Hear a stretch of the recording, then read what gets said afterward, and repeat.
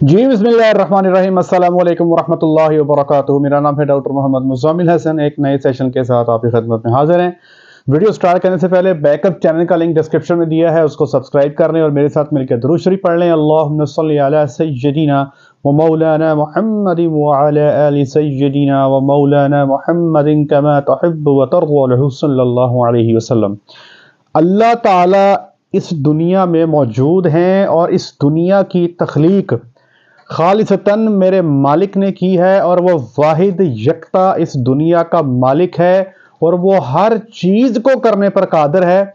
ये आज आपको एक वाक्य सुनाने जा रहा हूँ, जिससे इन आपका अपने अल्लाह की ज़ात पे मज़ीद ईमान बढ़ेगा और आप यकीन आपका मज़ीद पुख्ता हो जाएगा अल्लाह की वहदानियत पे, अल्लाह ताला की तोहीद पे।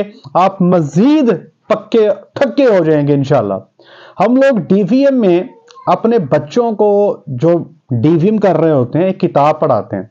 उस किताब का नाम है pathways to pregnancy and parturition उस किताब के सफ़ा नंबर 332 पे एक वाक्य लिखा हुआ है।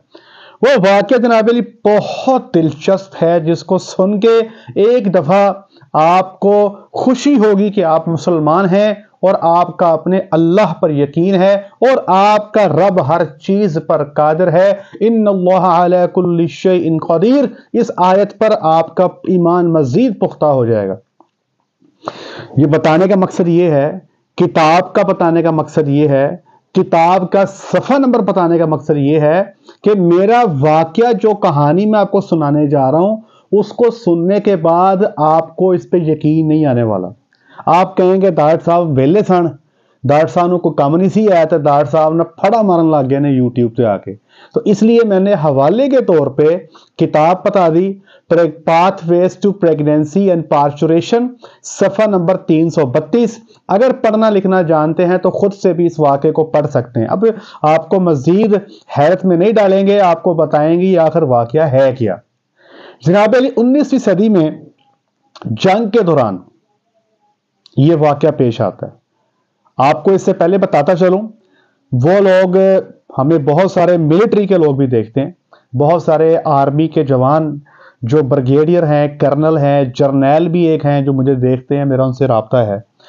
तो वो इस बात को बेहतर जानते हैं कि जब जंग होती है तो एक आपका मेन दस्ता आगे बॉर्डर पे लड़ता है और उसके पीछे आपके पास एक मेडिकल कैंप होता है। उस मेडिकल कैंप में जितने भी आपके फौजी जो वुंडेड हैं, जख्मी हैं, उनको लाया जाता है और उस कैंप में कैप्टन मौजूद होते हैं जो, जिनका ताल्लुक जो डॉक्टर्स हैं, वो मौजूद होते हैं।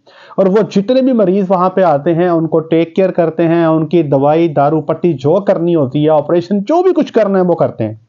अब 19वीं सदी में जंग के दौरान एक मेडिकल कैंप पे जी हमला हो जाता है। हमले के दौरान मेडिकल कैंप के बाहर सिक्योरिटी पे हामिल फौजी को गोली मारी जाती। अब वो गोली जो है, वो गन से फायर होने के बाद सीधी आती है और उस फौजी के जो मेडिकल कैंप के बाहर खड़ा था, उसके लेफ़्ट टेस्टिकल्स को होती हुई लग के क्रॉस करती हुई पीछे, बिल्कुल स्ट्रेट में उसके पीछे एक नर्स खड़ी होती है और उस नर्स के लेफ़्ट साइड के पेट के हिस्से पे चली जाती है। फिर सुन लें, गोली आई, फौजी के लेफ़्ट टेस्टिकल पे लगी। टेस्टिकल जिसको आप उर्दू में खसिया बोलते हैं। तो वो टेस्टिकल को डिस्ट्रॉय करती हुई गोली जो है आगे जाती है और एक नर्स के पेट के लेफ़्ट साइड पे दाखिल हो जाती है। अब डॉक्टर्स करते हैं ऑपरेशन लकीली ये जो नर्स हैं, ये बच जाती हैं, लेकिन डॉक्टर को नर्स के पेट से गोली नहीं मिलती। अब गोली तो मिलनी चाहिए थी ना? गोली मिले या उसका शरला मिले, कुछ ना कुछ तो मिलना चाहिए था, लेकिन पेट से मिली नहीं। खैर, वो नर्स बच गई, जिसे अल्लाह रखे, उसे कौन चखे जी? अभी कहानी का ट्विस्ट स्टार्ट होने वाला है। अब वो नर्स जो है, जंग खत्म हो जाती है, नर्स अपनी ज़िंदगी के जो रूटीन मैटर्स हैं, उस पर वापस आ जाती है। कुछ अरसे के बाद नर्स ये महसूस करती है कि उसका पेट कुछ बड़ा हो रहा है। जब वो ज़्यादा बड़ा हो जाता है तो परेशानी में नर्स किसी डॉक्टर के पास जाती है कंसल्ट करने के लिए कि मेरा पेट बड़ा क्यों हो रहा है। डॉक्टर उसको मुकम्मल एग्जामिनेशन पूरे मुआयने के बाद कहता है कि, बीबी, आप हामला हैं, आप प्रेग्नेंट हैं। अब वो नर्स सर पकड़ के बैठ जाती है। ओके, भाई, मेरी तो शादी नहीं हुई, मैं कैसे हामला हो गई? या मैं कैसे प्रेग्नेंट हो गई? डॉक्टर कहते हैं, भाई, ये हमें नहीं इस बात का पता। ये अल्ट्रासाउंड मशीन है, ये आपका बेबी है, आप प्रेग्नेंट हैं, अल्लाह अल्लाह खैर चला नर्स का पूरा इलाका, उसके पूरे इलाके वाले, उसकी पाकिजगी की गवाहियाँ देते हैं कि, भाई, ये ऐसी खातून नहीं है, बड़ी नेक सीरत औरत है, पाकिजा है, ये दो नंबर औरत नहीं है, इसकी शादी नहीं हुई। बरल जी, होना क्या था? पेट में बच्चा मौजूद था। नौ महीने पूरे हो जाते हैं और वो नर्स जो है एक बच्चे को जन्म दे देती है और अभी तक किसी को पता ही नहीं ये बच्चा किसका है। ना अगर नर्स को भी नहीं पता। अभी अगला ट्विस्ट सुने कहानी में क्या होता है। बच्चा पैदा हो जाता है। थोड़ा सा बड़ा होता है बच्चा तो बच्चे को अपने टेस्टिकल में कुछ तकलीफ़ महसूस होती है। डॉक्टर के पास जाते हैं।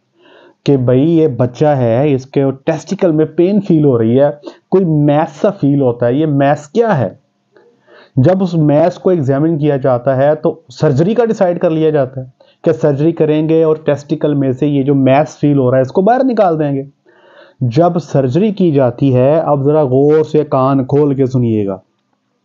सर्जरी की जाती है टेस्टिकल को खोला जाता है मैस को निकालने के लिए तो ये वही गोली थी, ये वही गोली का टुकड़ा था जो नर्स के पेट में गुम हो गया था।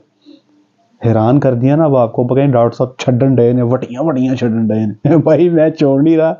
फिर कह रहा हूँ pathways to pregnancy and parturition सफ़ा नंबर 332 पे जाके पढ़ सकते हैं, ये डॉक्यूमेंटेड है। अब साइंस इसके ऊपर सर पकड़ के बैठ गई। कैसे हो गया?